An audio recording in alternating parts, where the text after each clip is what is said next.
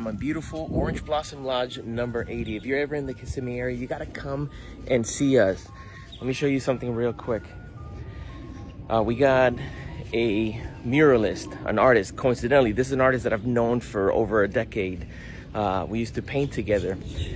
And he is making a mural here in the lodge. I cannot wait to see this complete.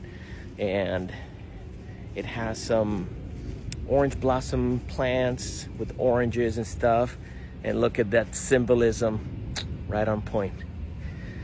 Come see it whenever it's fully completed. Love to have you.